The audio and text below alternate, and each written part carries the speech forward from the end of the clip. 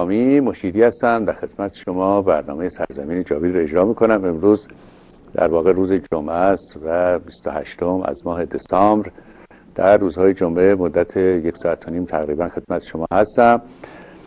و معمولا با یکی از دوستان قرار است صحبت بکنیم. امشب با دوست عزیز و قدیم آقای دکتر برغی صحبت می‌کنیم. دکتر برغی فعال سیاسی در واقع تلاشگر آزادی چون ارز کنم.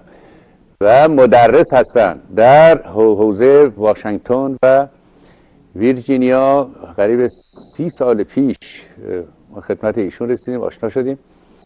ایشون تازه از ایران اومده بودند و در مجموع نظراتی که داده می‌شد معمولا نظرات ایشان واقع بینانه تر بود. چون در اون روزگار بر حسب احساسات تندی که بچههایی که اینجا بودن داشتن هنوز حکومت آخوند رو با نفی و انکار و عدم مشروعیت نگاه می‌کردن. اما دوست عزیزم آقای برغی ارز کنم که لمس کرده بود قضایا رو و نظرات واقع بینانه تری می‌داد.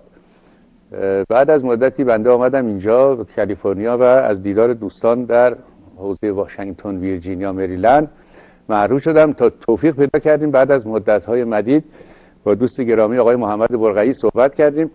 و بعد از مقدماتی که من خواهم گفت با ایشان امشب در باب مطالب ایران صحبت کنیم خب اجازه بدید که از دوست گرامی آقای بدیعی هم بسیار سپاسگزار هستم که کوشش می‌کند که ما بتوانیم بیشتر با هموطنان در تماس باشیم. یک بارم با خود ایشان صحبت کردیم. خب یک غزل می‌خوانم. خدمت شما از شاهکارهای دیوان حافظ است. میفرماید چه مستی است؟ ندانم. که رو به ما آورد. چه مستی است ندانم که رو به ما آورد. که بود ساقی و این باده از کجا آورد؟ تو نیز باده به چنگار و راه صحرا گیر که مرغ نقم سرا ساز خوشنوا آورد. دلا چو قنچه شکایت ز کار بسته مکن که باد صبح نسیم گره گشا آورد. رسیدن گل نسرین به خیر خوبی باد به نفشه شاد و کش آمد. سمن صفا آورد. سباب خوشخبری هدهد سلیمان است که مجده طرب از گلشن سبا آورد. علاج ضعف دل ما کرشمه برار سر که طبیب آمد و دوا آورد. مرید پیر مغانم ز من مرنجه شیخ چرا که وعده تو کردی و او به جا آورد. به تنگ چشمی آن ترک لشکری نازم که حمله بر من درویشه یک ببا آورد فلک غلامی حافظ کنون به تو کند که التجا به در دولت شما آورد. مرید پیر مغانم ز من مرنجه شیخ چرا که وعده تو کردی و او به جا آورد. قول بهشت رو تو دادی اما پیر مغان ما را به بهشت برد. بله عرض کنم که یک آخوندی در تفسیر این سخن حافظ یه بار هم خدمتتون گفتم. گفته بود آقا این حافظ تفسیر داره اینهایی نیست که شما می‌فهمید. می‌گوید مرید پیر مغانم زمن مرنجه شیخ. چرا که وعده تو کردی او به جا آورد.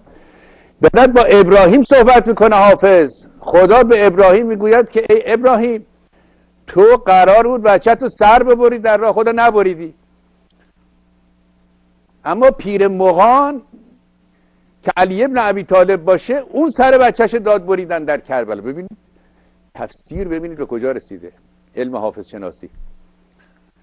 مرید پیر مغانم زمن مرنج شیخ چرا که وعده تو کردی؟ او به جا همه وعده تو دروغ بود وعده های دین یک سره دروغ. از کردم در این دین ها هیچ حقیقتی در هیچ کدام نیست. هیچ حقیقت ملموسی در هیچ کدام نیست.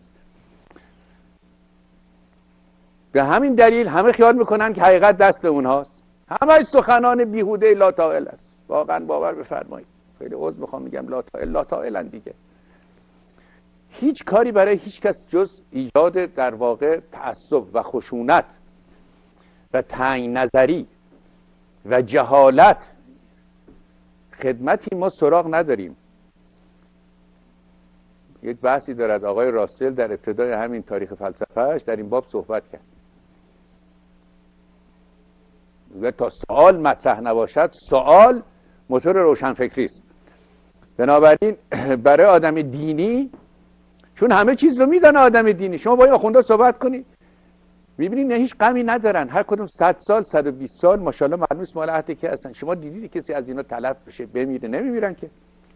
چون همه چیز براشون میسره هیچ دغدغه فکری ندارن. دغدغه روشن فکری ندارن دغدغه انسان ندارن. همه چیز می‌دانن دقیق همه جوابا رو دارن. هیچ سوالی هم ندارن. یعنی شما همه آخوندها رو بفرستین در دارالعلمای جهان از آکسفورد بگیرید تا هاروارد هیچ سوالی نخواهند کرد. سوالم که نباشید ترکیب مشخصه دیگه.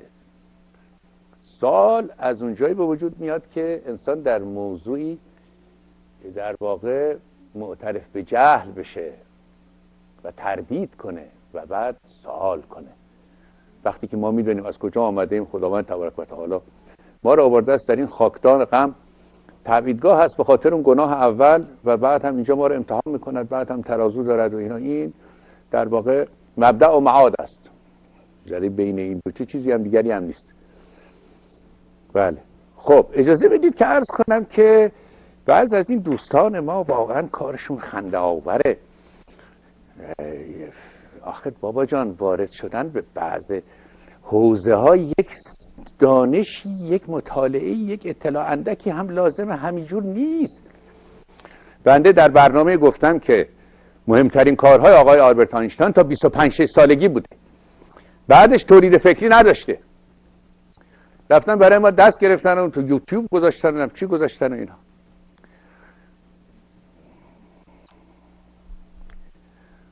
آقای آلبرت آینشتاین متولد 1879 هست. و در 1905 مهمترین کارش رو شروع به تحریر کرد و در واقع در معرض قضاوت دانشمندان گذاشت. می شود 26 سال. و اون نظراتش هم در باب photoelectric effect زمانی که در همین office patent office یعنی در واقع اداره ثبت اختراعات شهر برن کار می‌کرد اونجا به دست داده بود. بنابراین گرچه کارش در باب نسبیت تا سال 1915 طول کشیده اما پایه هاش از 15 16 سالگی به بعد میاندیشیده و سال 1905 که اولین بخش تئوری رو میده 25 یا 26 سال بیشتر نداره بقیت العمر این مرد بزرگ صرف این شد که ثابت کند جهان دارای قانون بیشتر نیست. چون نمیپذیرست که کوانتوم که خود او بسیار کوشیده بود. برای قوام دادن پایه های علم کوانتوم نمیپذیرفت نمیپذیرفت و همه عمر خود رو صرف این کرد که نفی کوانتوم بکند و دراز مدتی هم در این کار مشغول بود که نیروهای این چند نیروی طبیعت رو در یک فرمول واحد بیان بکنه. آدم استراکچریستی بود از نظر فلسفی. و هم می‌کرد همه چیز به هم ربط داره. و هرچه ما می‌بینیم تعینات مختلف هست به قول عرفای ما. تظاهر تظاهر مختلف هست از یک پدیده. در واقع وحدت وجود. در عرفان هم همین رو بیان کرده. بنابراین فکر می‌کرد که می‌شود همه اینها رو در یک فرمول جمع کرد. فیل تئوری. فیل تئوری هنوزم داره روش کار میشه به جای نتیجه نرسیده. اما اهم کوشش های مرد بعد از شهرت صرف این بود که بگوید این کوانتوم درست نیست. و با قانون طبیعت یکی بیش نیست. حالا اینا در واقع حواشی و مطالب اینها بسیار داره.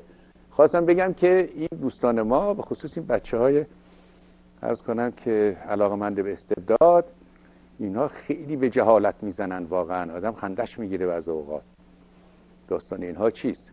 آقای هایزنبرگ در 22 سالگی بزرگترین کارش کرد تمام شد. بزرگترین کارش که در واقع همین از کنم اصل عدم قطعیت هست یا دوست او آقای پالی ولفگانگ پالی. اینا شاگرد های سامرفلد بودن در آلمان.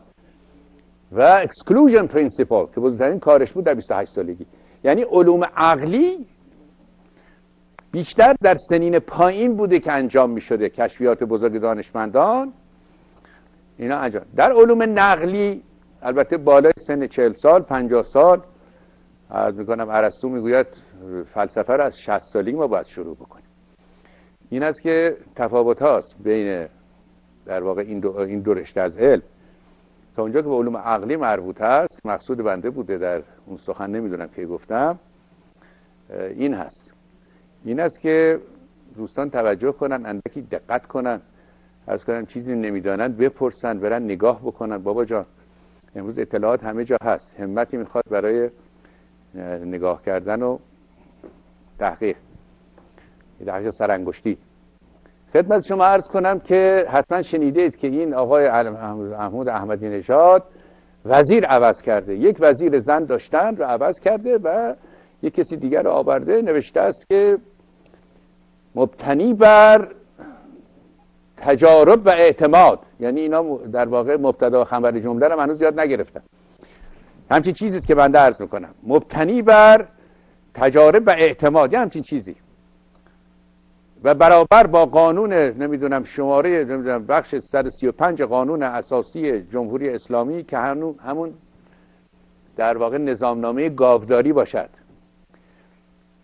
ما شما را به مسئولیت وزارت فلان منصوب فرمودیم یا منصوب کردیم که در باب موضوع پزشک خانواده موضوع بیماری ها موضوع غذا موضوع داروها همه اینها چنین و چنا کنیم. در حالی که اون بیچاره اون خانم رفته و گفته بود آقا پول داروها رو نصفش میدن وسایل آرایش می‌خرن. داروها گران شده در دسترس مردم نیست. اینا همه به یک جا برخورد می‌کنه در واقع. برخورد می‌کنه به این سیاستی که نیست در ایران و این دشمنی که با جهان به میان آوردن. این آقای سلطان علی سلطان علی شاه خامنه ای و وضعیت اقتصادی ناب سامان همش برمیگرده به اونجا. من به یاد دارم که اون آقای بهبهانی که وزیر راه بود که هواپیماها سقوط می‌کردن مردم رو میکشتن می‌گفت آقا اتفاقی نیفتاده در این مملکت خیلی آمار سقوط پایین هست. بعد این آقا رو خواستن به مجلس من نرفت و اخراج هم شد. آقای خامنه ای گفته بود شما بسیار جوان مردی کردید نرفتید به مجلس. منش مشخصه. این آقا اگه می‌رفت اونجا اگه, اگه این شرافت داشت و متحد به مردم بود همون آقای بهبهانی میبایستی می‌رفت به مجلس و میگو آقا این تحریم هایی که بر ما تحمیل کردن اجازه آوردن این یدکی ها رو ما نداریم. این هواپیماها نیازمند تعمیر هست نیازمند یدکی هست که ما نداریم و این گرفتاری ها ناشی از اونجاست. اصلا به روی خود نمی آورند که موضوع دارو وضعیت اقتصادی اینها مربوط هست به عرض کنن که تحریم ها چون حتما حضرت رهبر گفته است در مملکت خبری نیست. یک فیلمی هم دیدم که یک هموطنی پخش البته خبر نیست که من عرض کنم. یه چیزی شنیدم. حالا چون مطمئن نیستم بشم اشاره نمی کنم حالا بماند. کتابی در دست من هست به نام زندگی طوفانی خاطرات سر حسن تقیزاده به کوشش ایرج افشار. خیلی خیلی خیلی خواندنی است. در واقع مرحوم تقیزاده این کتاب رو گفته است من به هشتاد رسیدم و می‌خواه شاید به درد تاریخ بخورد این کتاب من. تقیزاده یکی از الیت برجسته ایران بود و سه دوره استبداد رو تجربه کرد و ضمن اینکه مرد عرض می شود که از روشنفکران عصر مشروطه است و وکالت تبریز آمد و در شمار آزادی خواهان تراز اول و علمای تراز اول بود و نامی نیک در این دور از خود به جای گذاشت. اما هر شود که از اون چند نفری که در کودتای مجلس پنجم چندین کودتا در مملکت ما شد. یکی کودتای 1299 یکی کودتا در مجلس پنجم برای برانداختن قاجارها. کودتای دوم بود. یکی کودتای 28 مرداد. من نمی‌دونم چند کودتا باید بکنم. ولی در اون کودتا همه این وکلای مرعوب که بعد معلوم شد 80 درصد اینا مخالف اون کار بودن که شد تقیزاده مردی بود که برخواست در کنار مرحوم دکتر مصدق و علا و دولت آبادی و مدرس. گفتن آقا قانون اساسی رو ما نمی‌توانیم زیر پا بگذاریم. و این مرد مرد کارآمدی است. زیر سایه قانون باید کارش انجام بده و این آقا رو می‌خواد شاه بکنید و استبداد راه بیاندازید. اگر ما ایشون رو بیاوریم و شاه بکنیم و به کارها دخالت کند که این دخالت شاه در امور است همون سیستم محمد علی میرزاست اگر بخواهیم که او رو بیاوریم و شاه کنیم به کارها دخالت نکند یک مرد کارآمدی رو بیکار کرد. اصلاحش هم درست. تقیزادم رأی نداد. می‌گوید من وقتی از مجلس بیرون آمدم این چند قذاق با این کاردهاشون به شکمشون من ترسیدم شکم مرا پاره کنن. چون مرعوب کرده بودن مردم رو. و بعد به گاری رسیدم اینا. باری این مرد بعد آمده در دو دوره هر شبت که ضمن خدمات مهمی که انجام داده آمده دم بغل دست استبداد و اون وضعیتی که بین سالهای 1900 از کنم که 21 22 تا 42 41 42 در مملکت بود ایران در, در انحصار دولت انگلیس بود. و اون فجایر دولت انگلیس انجام دادن و اینها این مرد بزرگ در, در امور اقتصادی مملکت امضا می کرد و اون قرارداد ننگین رو به قلم تقیزاده شد متاسفانه. قرارداد دارسی که حالا من واردش نمیشم چون خیلی خیلی کار ننگینی بوده این کار در اون روزگار انجام شده. و بعد هم که در دوره استبداد دوم آمد و در مجلس سنا بود و یک چیزهایی هم می‌گفت و اینها اما مرد بزرگی است بر روی هم تقیزاده مرد بزرگی است و ما باید به اون احترام بگذاریم و دیگر نظیر تقیزاده هم نیامدن. عرض کردم خدمت شما که جامعه در بین دو گوش الیت فکر می‌کنه. همه نباید متفکر باشن. واسه نیکو باید رو بتونن تشخیص بدن. اما کارهای فکری رو الیت جامعه انجام میده. دور دست ها رو این الیت هست که می‌بیند. ما در عصر جدید این همه نام ها که عرض کنم که مرتب میشنویم اینها گروه الیتی بودن در کشورهای مختلف که برای مردم کوشیدن برای سعادت کوشیدن با استعمار جنگیدن با استبداد جنگیدن. آدم مثل جورج واشنگتن و مونرو و جفرسون و بعد لینکلن با بیعدالتی. اینها الیت جامعه هستن. یعنی مثل یک مزرعه گندم. به مزگی وارد میشید اون چند خوشه گندمی که از بقیه بلندترن به چشم ما می‌خورن. حالا شرایط زمین چگونه بوده؟ در اون نقطه یا تخم اون گندم چگونه بوده؟ به هر صورت ما ببینیم چند خوشه سر برکشیدن این گروه کسانی هستند که هر می شود که به قول متفکر عرب برادران به خواب رفته رو از خواب بیدار می‌کنن. اینو وجودشون بسیار برای استبداد خطرناک و وجودشون برای جامعه در اولویت هست در واقع. اولاتر از هر, هر پدیده دیگری است. بدون الیت میسر نیست. و جامعه بایستی به طور آزاد همونطور که یک مزرعه گندم رشد می‌کند همه با هم بتوانند رشد بکنند. یک عده هم مبدل میشن به الیت. حالا بر اثر کوشش شخصی است بر اثر شرایط خانواده است هر جهت اما الیت در جامعه تولید میشه. استبداد اما تحمل نمی‌کنه الیت رو. قیچی رو دست می‌گیره این گندم هایی که زده بالا قیچی می‌کنه. قیچی. حالا سیستم قاجاری استبداد بود عرض کردم. اما الیت ستیز نبود. به وجه که دورای بعد. دلیلش هم این که به محض که مشروطه شد ما رجال تراز اول داشتیم. آدمای مثل دخدا مثل مصدق مثل تقیزاده مثل کسروی. تعدادشون بسیار زیاد هست من بشمارم. اینها آمدن و مردم رو بیدار کردن به شور آوردن. سرداران مشروطه بودن. متاسفانه نشد. یعنی یک دوره استبداد داریم که الیت رو قیچی می‌کرده و کشور رو به ورشکستگی سیاسی برده. یعنی در زمان سقوط کسی تولید نکرده بود. سهل است که بهترین آدم های ما رو کشته بودن. بعد رفتیم قدما رو آوردیم. اونا که در زمان مشروط هنوز بودن. و خیلی جالب این داستان ما واقعا. و دوره استبداد دوم داریم یه دوره داریم بین 1120 تا 1332 که باز کودتا. و بعد دوباره قیچی کردن الیت دوره شروع شد. و زمان انقلاب که شد کسی باز تولید نشده بود. باز رفتن قدما رو آوردن. محال چنین به چنین وضعیتی بشود توسعه سیاسی داد در جامعه با اختناق و زدن و کشتن و کاری که آقای علی خامنه ای می‌کند که الیت که سهله دو نفر آدم جرأت حرف روزمره ندارن بلند بزنن و با گردن فرازی سخن بگن و هیچ رژیمی بیشتر از این رژیم از الیت وحشت نداره تا جایی که تحمل یک ورزشکار رو نداره. نکند این ورزشکار در جامعه مورد استقبال واقع بشه و نامی برای خود کسب بکنه و یک عده‌ای مثلا به حرف او گوش کنن. بشد علیه ما.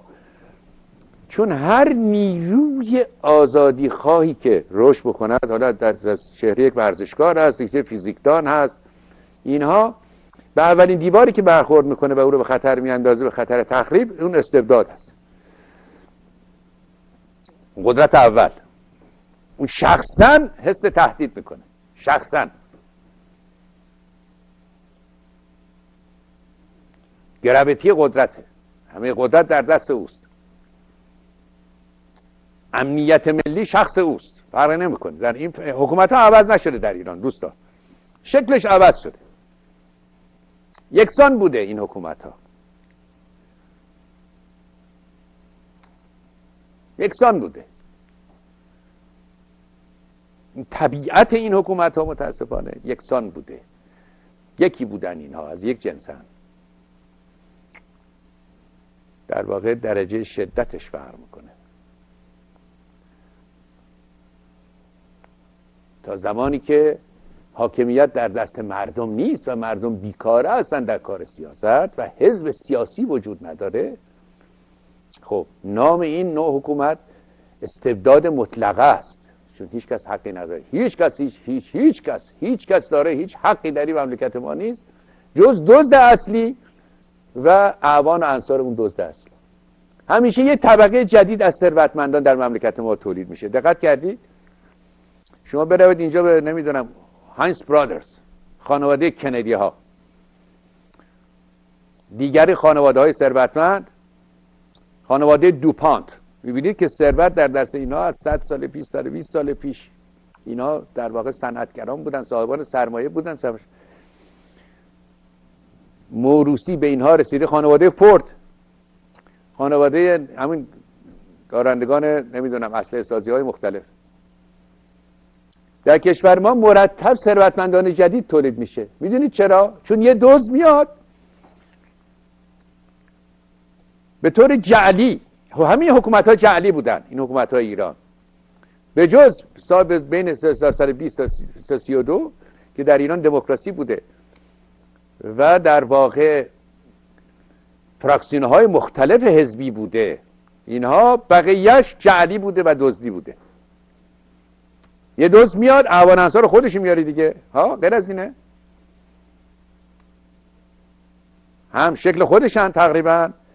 هم اینکه رفیق خودشن اینا رو میاره. بنابراین اون صاحبان ثروت رو به ضربه چماق می‌زنه بیرون می‌کنه ثروت ها اونا رو می‌گیره. چون قراره بدوزن با هم شریکن دیگه نه؟ اون دزد بزرگ بیشتر می‌خوره اون دزد کمتر می‌خوره. حالا دزد بزرگ ایران علی خامنه ایه با مردم در جنگ استبداد همواره با مردم در جنگ شما نگاه کنید پادشاه سوئد سوار دوچرخه می‌شد میاد میره نمی‌دونم خرید می‌کنه. بلژیک. آقای علی خامنه ای که یک آخوند ملای کمایه بوده آیا شنیدید که بتواند بیاد در خیابان قدم بزنه؟ نمی‌زنه. چرا؟ چون با مردم در جنگه. مردم با او در جنگه. بنابراین سپر حفاظتی رو با دزدان محکم می‌کنه. در قبال این دزدی عجیب و غریبی که خود او و خانوادهش می‌کنند و یارانش اینها بایستی به سایر دزدان هم بدهد فوق العاده بدهد. اختیارات فوق العاده برای نگهداری او بنابراین امروز ثروتمندان کسانی هستند دیگه ثروتمند قدیم نیستن. یک دوره یک عرض می‌کنم که طبقه قزاق آمدن ثروتمند شدن و بچه های اونها. و بعد دوره بعدی. امروز طبقه دیگری هستن. از اون نوع مطلقا و ابدا دیگه ثروت در دست اونها نیست. اونا رو گرفتن. غیر قانونی زمیناشون رو گرفتن. منازلشون رو گرفتن زندگیشون رو گرفتن حالا دادن به این طبقه.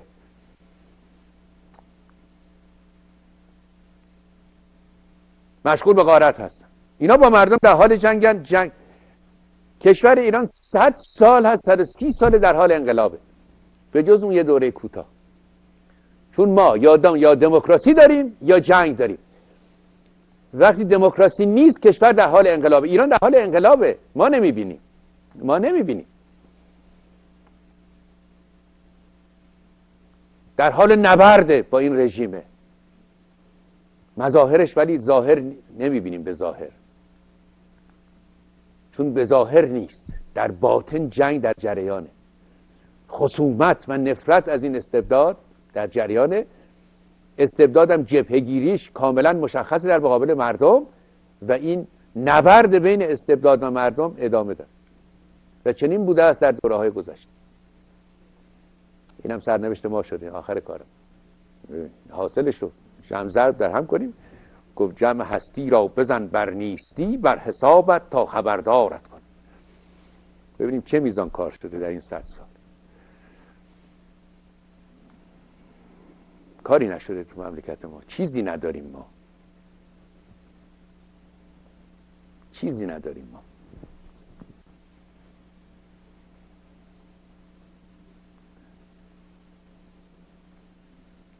و هر کسی فرض می‌کند که از این مستبدین که میان و این دزدان هر کسی گمان می‌کند اگر عقایدی که او دارد خوب پرورده بشود و خوب تبلیغ بشود ذهنیت جامعه به نفع او تغییر شکل خواهد داد. و این تصور خطاست.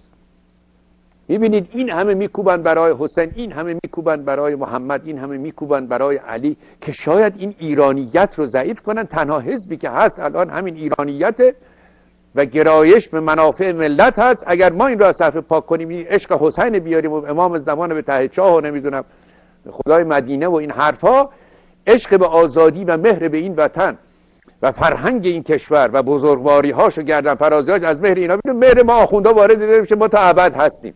این دیگه این خیلی گفت از از من شمس. شما نگاه کنید. در ارسنجان مجسمه بلال حبشی رو درست کردن. شما فکرش بکنید.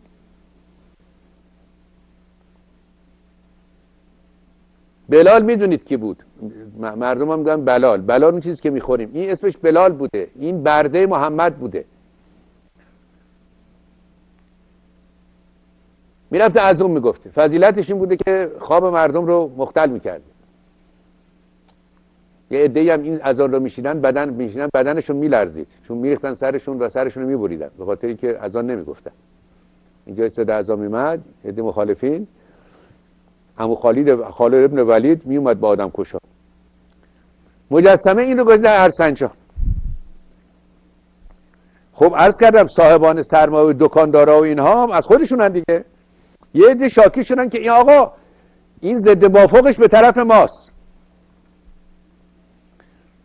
اونا که روش به طرفشونه این دکاناشون ارزش بیشتری داره. حالا شما فکرشو بکنید. آقا این اسلام در مملکت ایران شرف پیدا کرد. پدر جان این در بیابانهای عربستان که چیزی نبود که یک دین بهیمی عقب افتاده آدمکش بیمعنی بود. این مردم شریف بودن این فرهنگ اصیل بود. اگر چیزی برای این درست کردی چند کتاب براش نوشت و فلسفه نوشت و نمی‌دونم. تعبیرات و تفسیرها کرد. فقها ایرانی ائمه دین ایرانی مفسرین و محدثین ایرانی. حالا شما آمدین به ما می‌خوان یاد بدین. برای ما مجسم. این همه بزرگان این مملکت بلال حبشی درست بلال حبشی. پس چرا خود عربا درست نمی‌کنن؟ یادی از بلال حبشی نمی‌کنن. آقا زادگاهش که جای دیگری است که پدر جان که. اینا همه بهش می‌گوین که تلاش های مذبوحانه مردم فراموش نمی‌کنن که این کشور کشور قدیمی است. این مردم مردم اصیلند و این فرهنگ فرهنگ پایدگار و پایدار و قدیمی است و اینجا ایران زمین است. زادگاه بزرگان دلیران کسانی که مملکت رو نگه داشتن تا امروز و امروز به دست دوزان امام سر افتاد. با آوردن بلال حبشی و نمی‌دونم گنبد حسین درست کنیم و اینها قضیه آزادی و قضیه عدالت رو فراموش نمی‌کنن.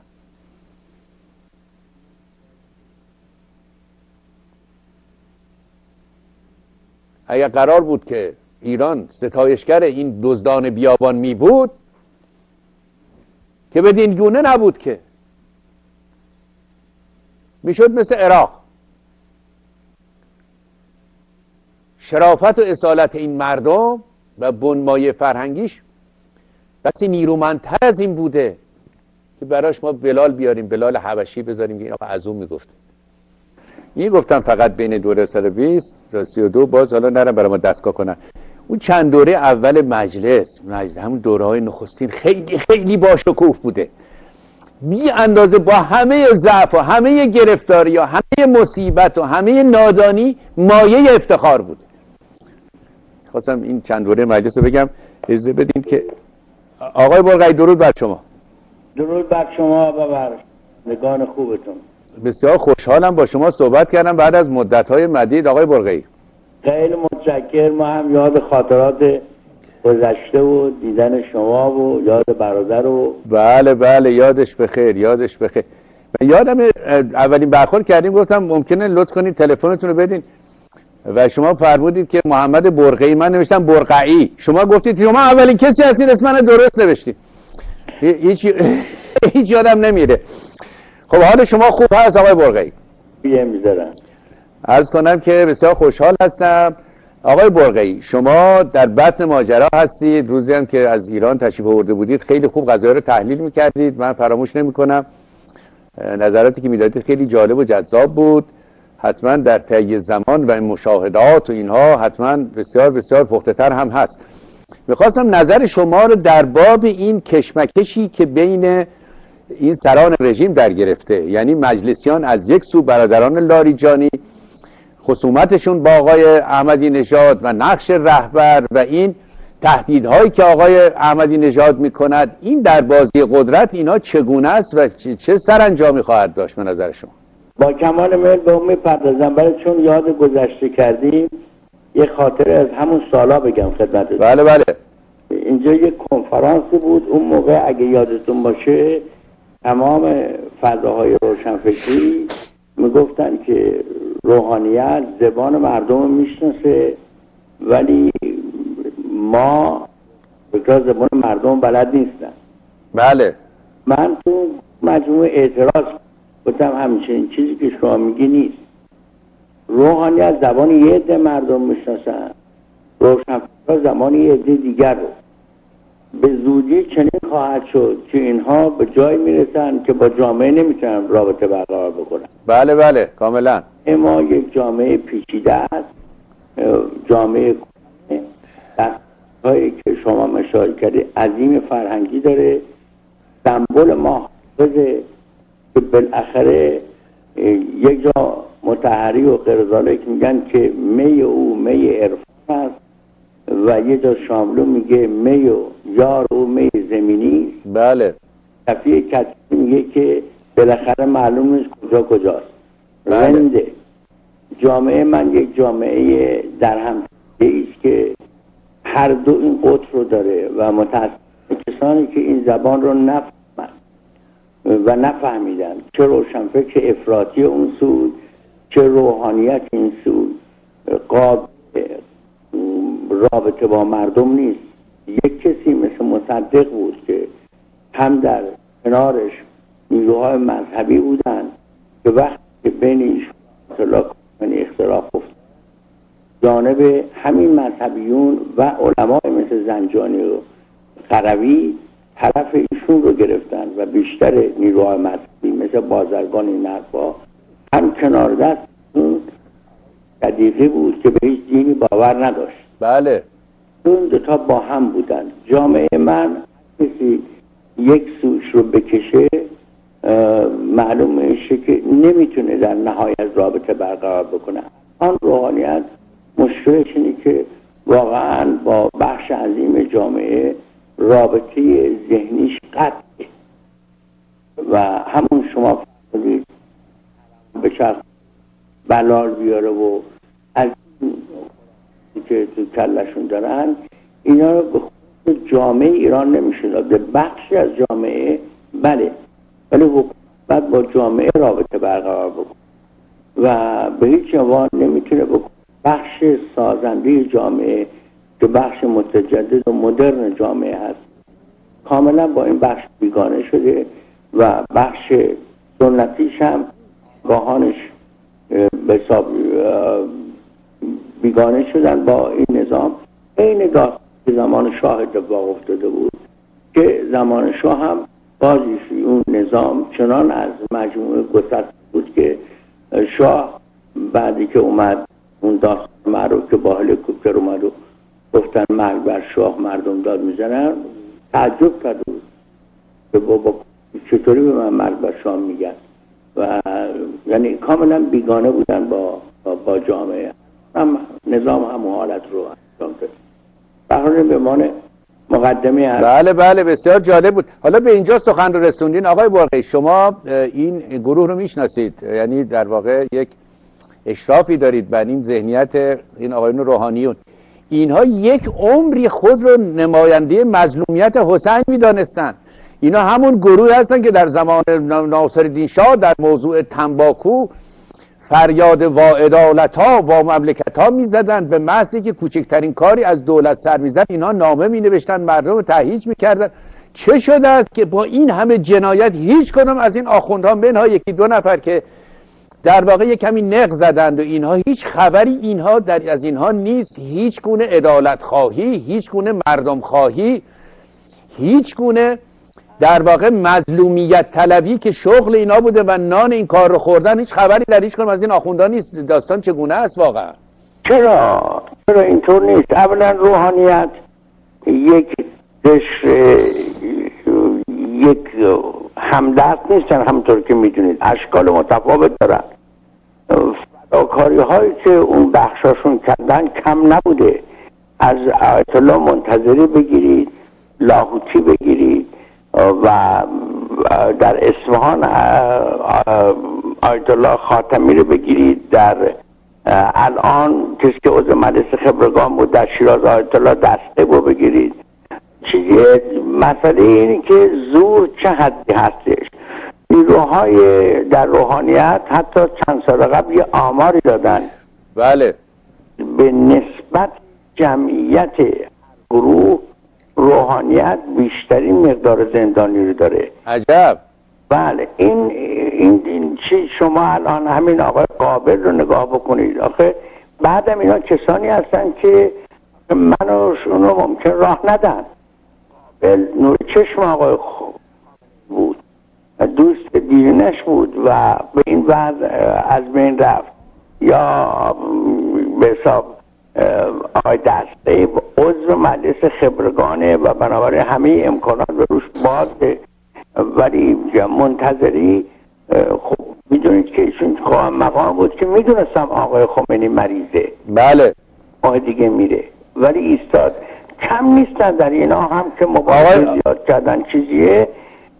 وقتی یک نظامی این چنان سر داره.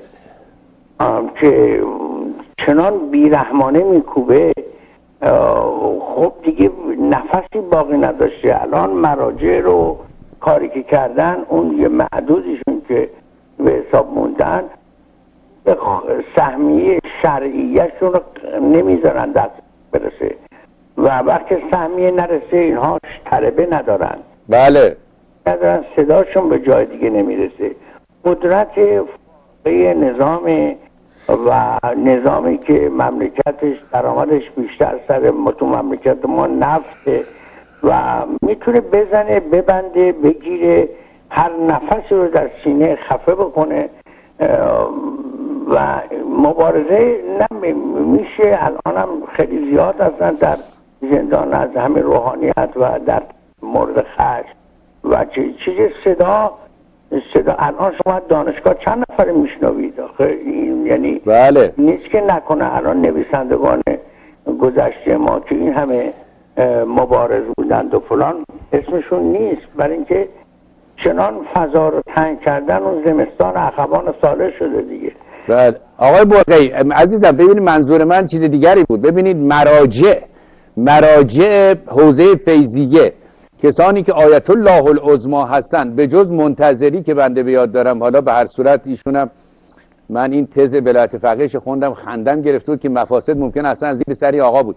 مثل آقای مرعشی آیت الله العظما این حوزه فیضیه در واقع که مرکز در واقع مرجعیت قوم هست خیلی خوشحال و خندان نشسته کاری انجام نمیده. بزرگانشون رو عرض می‌کنم. بله قبول دارم که دادگاه روحانیت هست زندانی روحانی داریم. آقای تاهری از اصفهانی چیزهای نامه ای نوشته کنار رفت. آقای منتظری و دسته و اینا هست.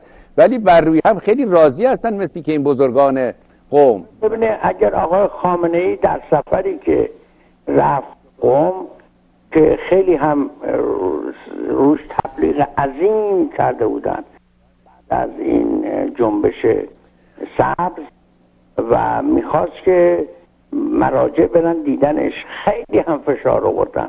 بله بله شنیدم. فقط دو نفر بیشتر با ایشون دیدار نکرد. الان اکثر مراجع معتبر ما یکی دو نفرشون با نظام نیستن.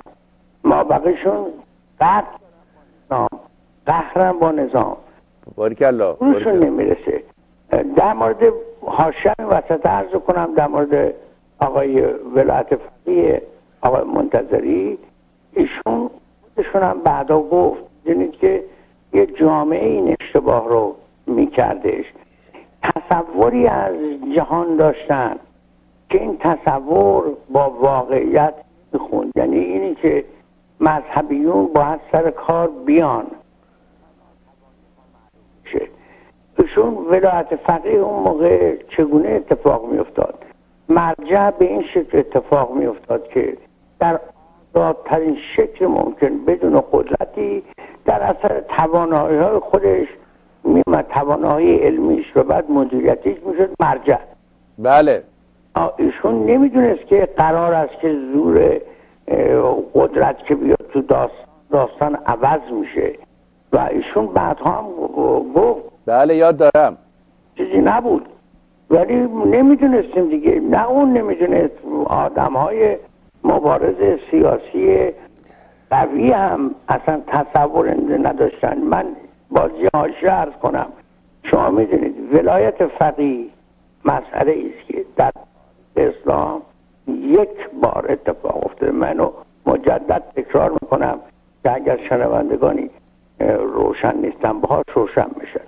ولایت فقیه یک بار طول تاریخ اسلام اتفاق افتاده. اونم در شیعه. قابل تقلید در حدود 90 درصد جامعه مسلمانان که سنی هستن که اصلا قابل اجرا نیست. بله. یا مرجع تقلید ندارن که ولد فقید داشته باشند و فقط این پدیده مال ایرانه. ایران هم یعنی شیعه ایرانی اونم شیعه دوازدوام ایرانی. بله. یه بارم اتفاق افتاد همون موقع هم که اتفاق افتاد همه مراجع بدون استثناء مثل آقای گل کنیم که مجلس مخالفت این صحبت کرد. ریختن مجلس رو به هم ریختن آقای مرشی مخالفت کرد. همون آقای قومی مخالفت کرد. همه رو گفتن که نادرسته. ولی آقای خمینی مثل این کارو بکنه. مگر در کشور پیشرفت آلمان شما می‌دونید تولید اصلی فکری آلمان فلسفه است. هگل از اونجا میاد مارکس از اونها میاد نیشه اونجا همه اینا بله. از بزرگان فلسفه از اونجا میاد.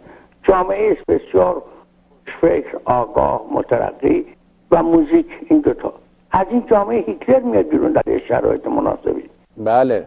خمینی تونست تونست کالای بنجلی رو که هیچ کسی هم باش موافق نبود در شرایط مناسب تاریخی تونست به جامعه بفروشه. بله همینجوره.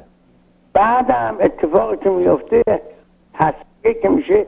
الان از یک شخصی آقای بهبانی شما صحبت کردید که خامنه گفتو بهتر بود که شما مجلس نیومدید. بله بله. گفت بسیار جوانمردی کردید.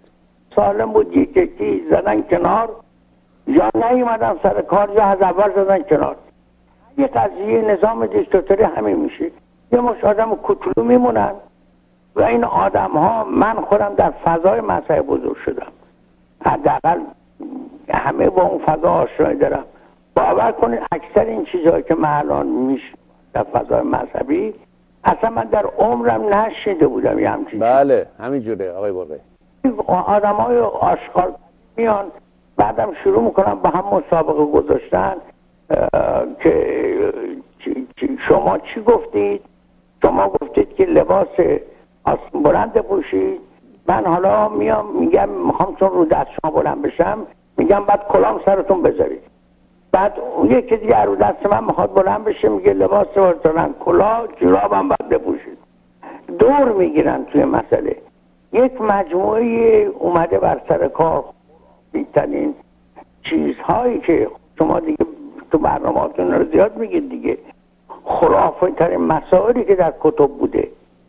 و بوده تمام این خرافات رو کشیدن. شما این روحانیت رو الان نگاه بکنه حتی با روحانیت مشروطه صد خوده سال جامعه سنتی تر جامعه خرافی تر تمام این حرفا این جامعه اون روحانیتش به این خرافات و مزخرف نبود. حتی من و شمایی که به سنمون یادم میاد هرگز فکر نمی‌کنیم امامزاده سیار پیدا کنیم. امامزاده یکیست که میمیره یه جای خاکش می‌کنن میرن سر خاکش.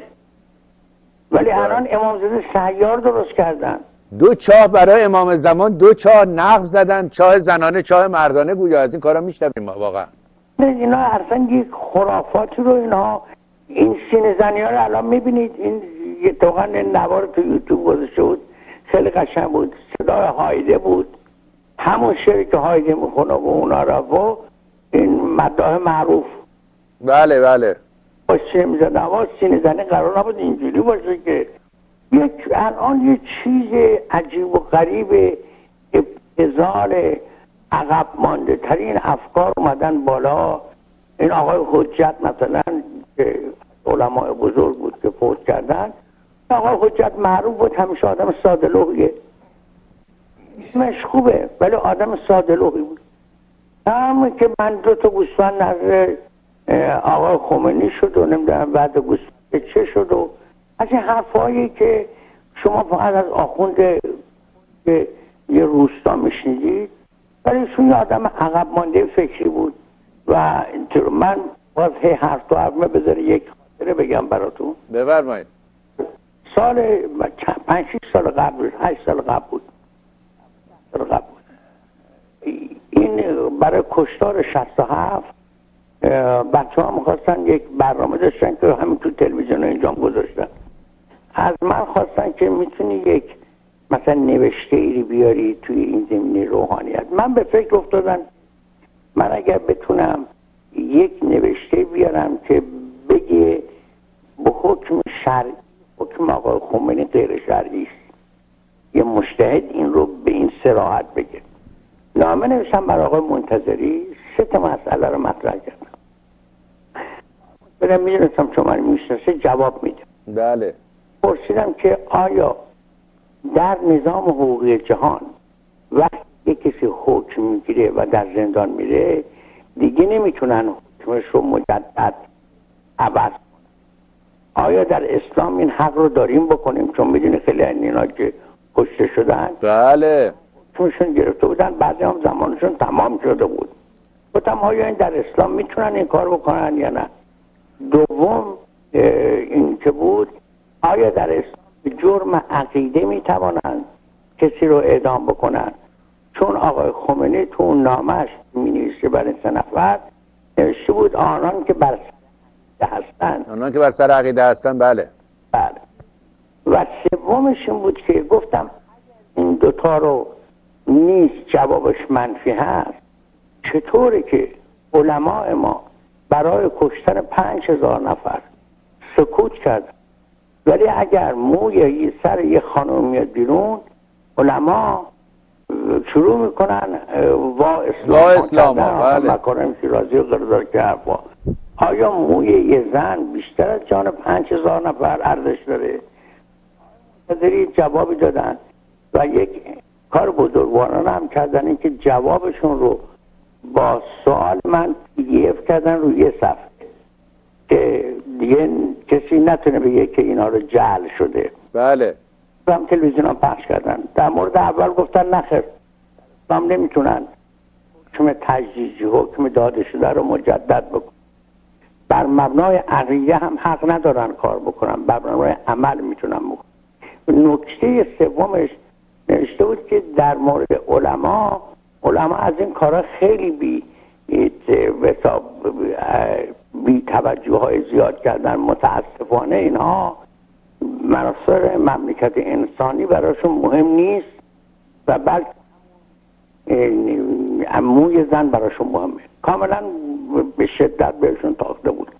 به هر حال این جامعه این مجموعش روحانیت رو هم مثل هر قشر دیگری باید مجموعه روشن فکرم روشن فکرهای بودن که به فروش به نظام رفتن. روشن فکرانی بودن اساتید دانشگاه بودن ساکت بودن. در اونها کسانی بودن که مبارزه کردن. هر قشر در روحانیت هم همین حالت وجود داره ببخشید نه نه بسیار جالب بود. برگردیم سر سوال مخلص. در باب این کشمکش قدرت این آقای احمدی نژاد به کجا می‌خواد برساند این کار ریاستش رو و در افتادن اینا بازی های کودکانه است نیست سقل قدرت جای دیگری است نیست این دو زاویه بعد بهش نگاه بکنیم. یکی این که این اصلا شدنش چه فرق می‌کنه تأثیری می‌کنه یا نه؟ آها. که این سر صدا که میشه کاری اصلا می‌تونه بکنی یا نه؟ در مورد اولش باید از کنم که نظام وقتی به یه جایی می‌رسه که یک دست میشه دیگه بازیش بازی داخلی میشه فرق نمی‌کنه که چیه.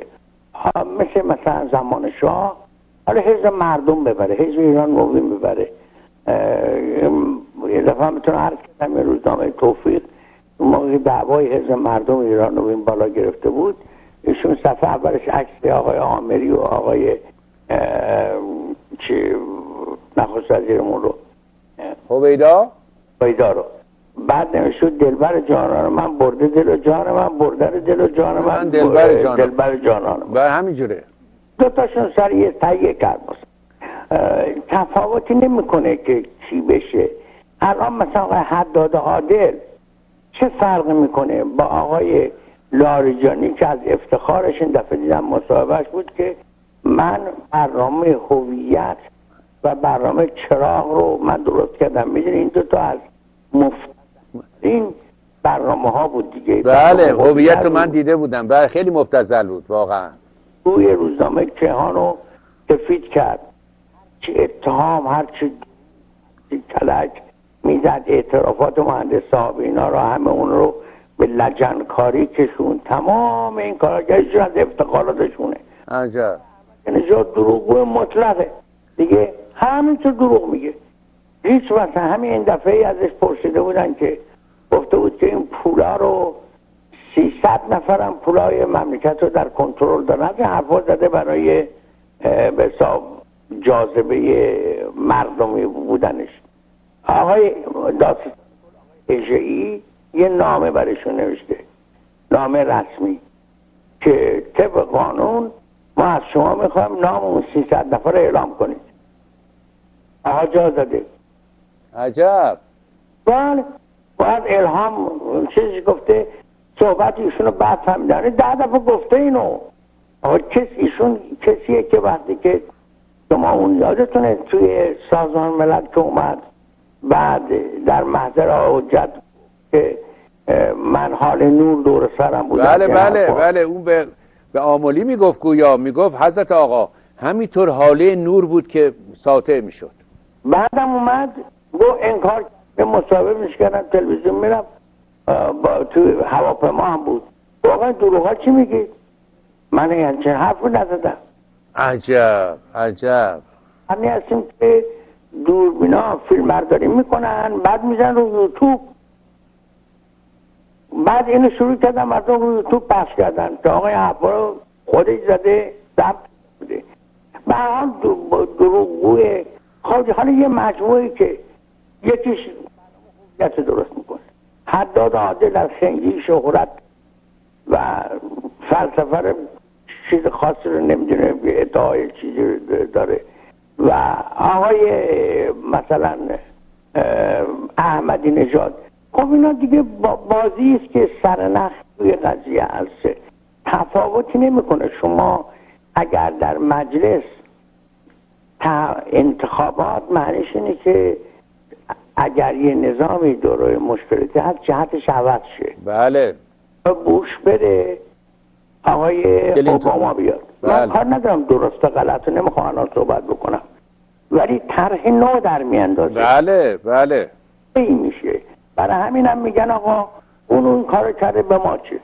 خب ما می‌دونیم مثلا آقای احمد نژاد بره آقای عدل بیاد آقای قالی واف بیاد داروجانی بیاد.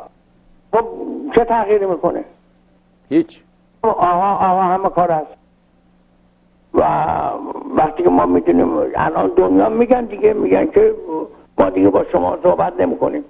اگه آقای خامنه خود صحبت کرد صحبت می‌کنه بنابراین چه فرق می‌کنه؟ چه آقای آمری باشه چه آقای خوبیدا چه آقای قالیباف باشه چه آقای احمدی نشاد نظام الان حالتی نیست که درش ایراد بشه.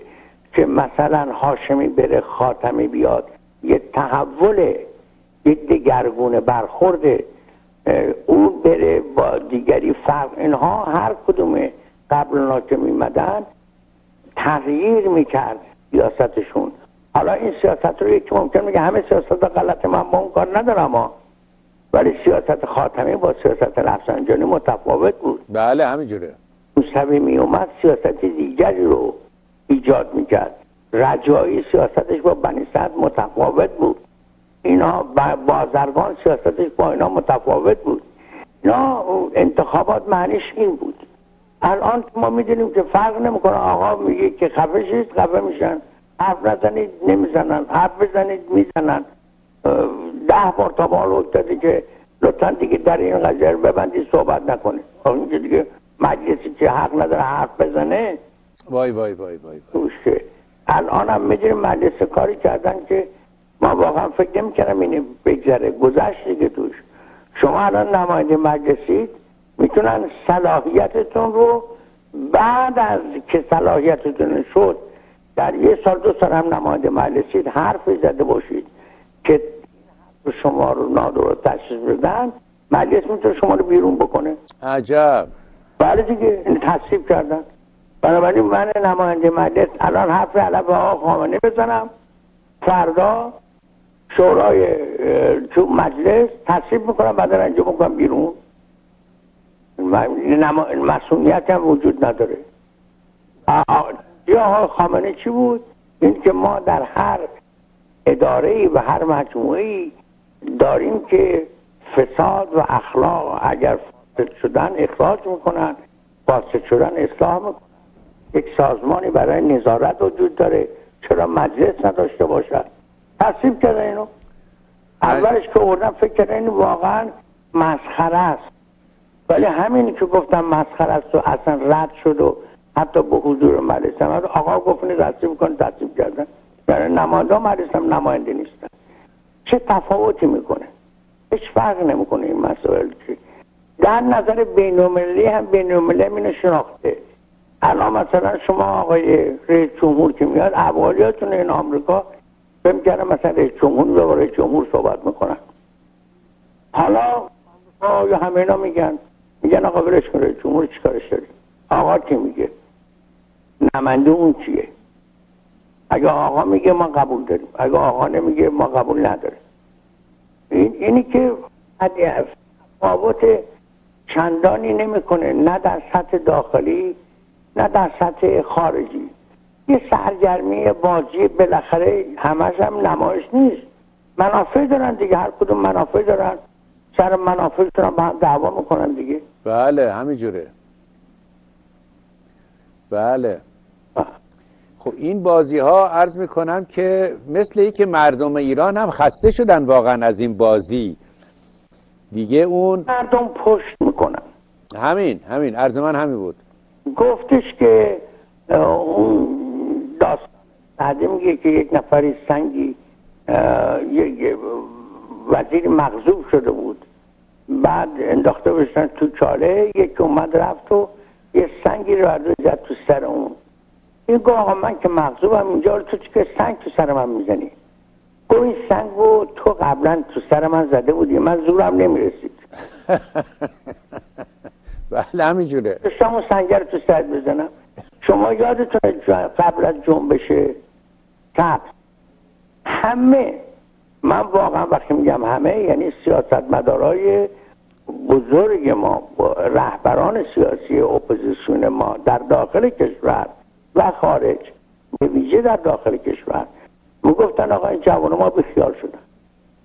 بله می‌گفتن می‌گفتن به طور کل بیخیالن و اصلا در این قضایا نیستن به هیچ وجه من الوجود. یه مرتبه دیدین در جنبش سبز من یاد جران شاه اسماعیل صفوی میندازه. بله.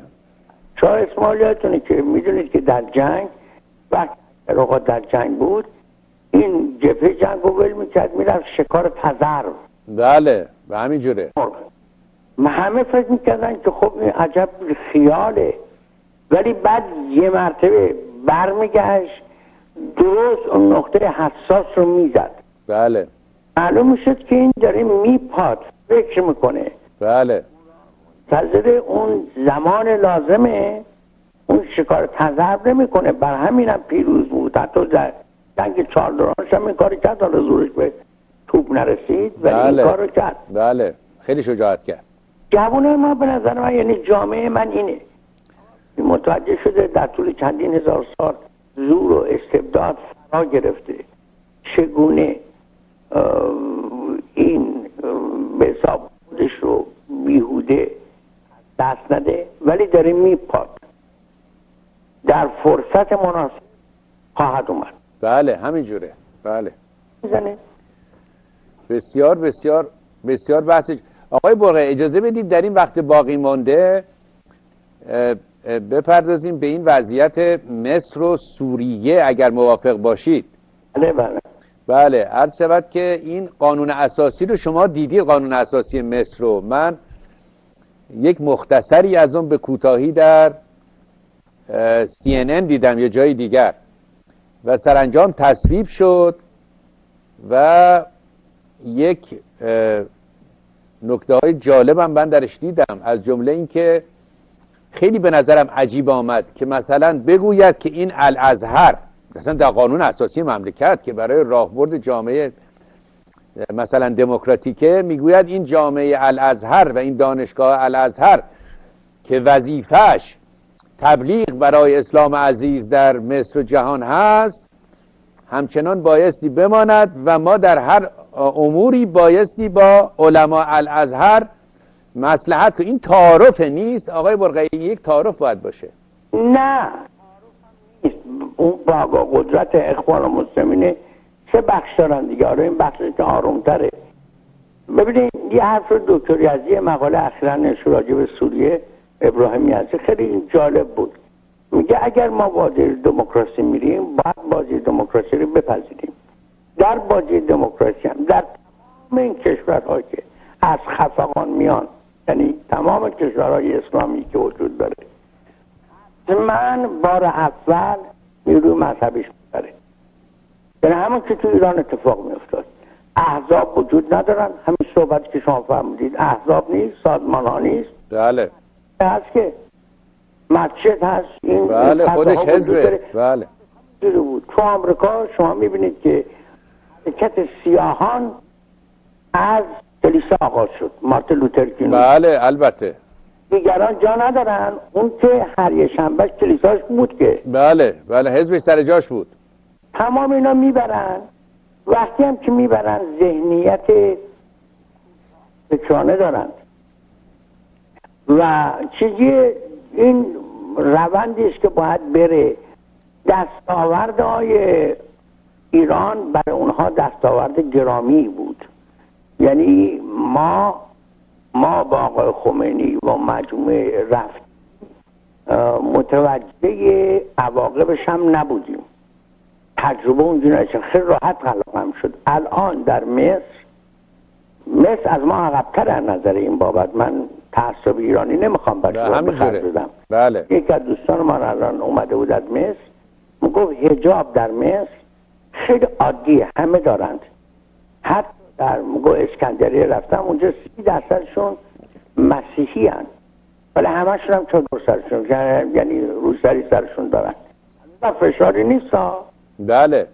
و اینجوری آغاز شده. این جامعه با این سوده ولی الان داره نیروهای اپوزیشنش یا نیروهای غیر دینیش لائیکش ناصری ها مبارکی ها اینا با هم در تضادن همشون. بله. های چپ. اینا همه الان یه پارچه ایستادن دو سال تو مسجد ایستادن و به این راحتی که سوار شد اینا نمی‌ذارن سوار بشن. و چون یه گام از تجربه ما یاد گرفت. بله. حالا انشالله هر کدوم اینا رو باید بدونیم دیگه. هر برهی یک گام بهتری میشه ولی باید بپذیریم که هر کدوم اینا درش انقلاب میشه به دلیل گناهش هم به گرده حکومت دیکتاتوره حکومت دیکتاتور امکان نفس برای کسی نمیده در مساجد نمی‌تونه ببنده مساجد بازه و آگاهی های مردم پایینی آگاهی سیاسی ندارن. بنابراین روحانیتی که باشون در تماس میاد بالا قدرت می‌گیره.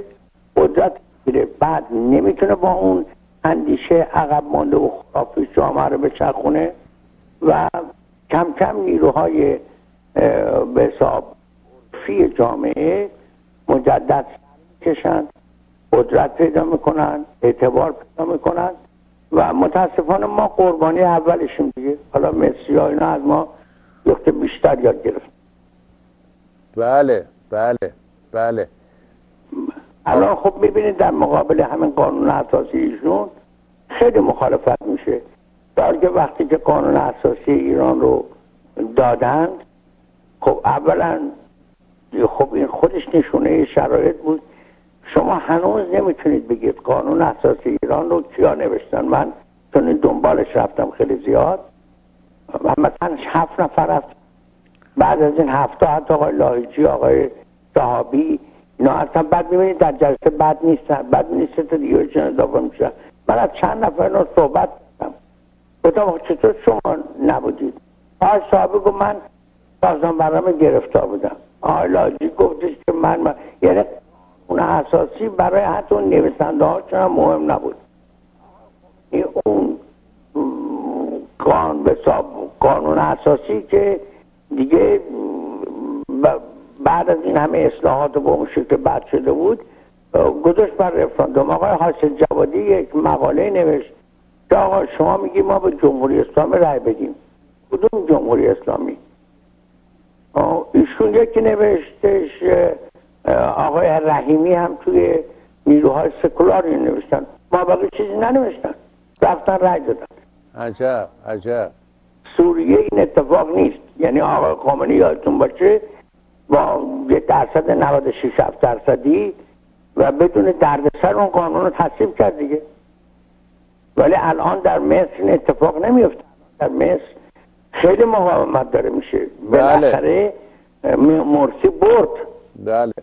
ولی مرسی 97 درصدی نبرده و دردسرش هم تموم نشده. نه درود بر شما. دقیقا همین جوره دقیقا همین جوره یک اشاره هم به وضعیت سوریه بکنیم ببینیم نظر شما چگونه است. چون این آقای اسد یعنی طول مدت سرکوبش بیشتر از پیشبینی های کارشناسان سیاسی بود و طول کشیده به یک بنبست نزدیک شده. والا دو تا مسئله سوریه رو مشکل براش ایجاد کرد. مسئله اول لیبی بود. در لیبی ناتو خلاف قانون عمل کرد. و سازمان ملل محدوده براش گذاشته بود. حالا اون وارد اون ریز اون نمی‌خوام بشیم. اینها اومدن از این محدوده تجاوز کردن. بله. وقتی کردن الان کشورهای مثل روسیه و چین اینا دیگه این دفعه نمیان پای سازمان ملل. بله. آقا تو به ما میگی بیا. اینا رو حمایت بکن بعد میری می‌زنی. این خب میدانی شد برای او از اون روز دارم هنوز نتونستن این کارو بکنن توش. یک. دوم اینه که متاسفانه ما باید دقت بکنیم که ما یه روی سیاه یه روی سفید نداریم. یک روح ما دیکتاتوری به نام حسد که پدرشون کشتار عظیم کرد. خودش هم استعاد می‌کنم نکرد و که پاش افتاد دیدیم راه پدرشون میره. بله. ولی یه روی دیگهش این مجموعه است که الان سر میجنگه. این مجموعه مجموعه است که اکثرش نیروی مزدور ارتجاعی و قطر و عربستان و سعودی که دموکراسی رو بزنن تو سینه و پولش رو بدن و دیگه هم دیدین دیگه تو روزنامه هم فراون دیدید عکس دیدید گزارشات زیاد اومده که اینا هم همون کسافتی رو می‌کنن که اسد می‌کنه. یعنی کسانی که می‌گیرن بیخ دیوار می‌ذارن اعدام می‌کنن فلان می‌کنن. اما یک ملغمه زشتی هست. این زشت الان به موقعیت رو پیچیده کرده. ضمن اینکه یادتون باشه در سوریه مثل مثل مقدار زیادی مسیحی داریم. بله بله. مترد داریم. اینا به اون طرف نگاه می‌کنن. میگن آقا اگه بناسین سلفی ها بیان که پدر ما رو در بیارن که این تجربه هم تو ایران دیدن نمی‌خوان. یعنی دل نمی‌کنن از اسد بله یک اوضاع بین روشنی که یک سو بد است یک سو خوب است نیست. دو تا مجموعه آلوده است که داره حرکت می‌کنه و بعد مورد به مورد و لحظه بگیره اینی که آقای اسد به حساب تونسته تا به الان بکنه ولی ظاهرا هم خودش هم مجموعه حاضرن که اگه به جوری به حساب سالم کار برکنار بشه که با, با آبرو به قول معروف. بله چه آبری دکتر برقی عزیزم بسیار سپاسگزارم. وقت ما تمام شد. بسیار بسیار صحبت خوبی بود. امیدوارم مجدد در خدمت شما باشیم. از شما بسیار ممنونم. اگه مطلب پایانی هست می‌تونید بفرمایید قربان. بسیار ممنونم و صحبت خاصی رو ندارم. من یک دفعه خدمت رو کردم که برای گفتم گفتم من این مسائل سیاسی روز رو که بالاخره مورد علاقه است ولی چیزایست که همه می‌خونند. من یکی از نگرانی های من الان این فضای ایران ستیزی است که بله بله. در بخش فکر امیدوارم یه زمانی به این برسیم حتما مطلب مهمی است آقای برقی. با هم حتما صحبت می‌کنیم. بسیار بسیار مطلب مهم است. از شما سپاسگزارم دوست گرامی. سلام کنم قربون شما. شب شما بخیر. هموطنان گرامی صحبت کردیم با دوست گرامی آقای دکتر برقی از ناحیه ویرجینیا. می‌دونید ویرجینیا واشنگتن مریلند با هم هستن اونجا. از اون ناحیه در واقع جایی که واشنگتن هست یه بخش ویرجینیا می‌خوره یه بخش به مریلند. و سپاسگزارم از دوست گرامی آقای بدیعی آقای رضا بدیعی از می‌کنم زحمت کشیدن و اگر دوستان هستن که یه تلفنی هم آقای بدی من دادن که فراموش کردم بیارم. می توانید به دفتر سرزمین جاوید تلفن بفرمایید. اگر که مطلبی برای گفتن هست ما خیلی خوشحال میشیم با شما صحبت کنیم. تلفن 972 292 01 01 از همه شما بینندگان سپاسگزارم. همچنین از دوست گرامی آقای سفر در اتاق فرمان. تا برنامه دیگر درود بر شما. جاوید ایران زمین زنده باد آزادی.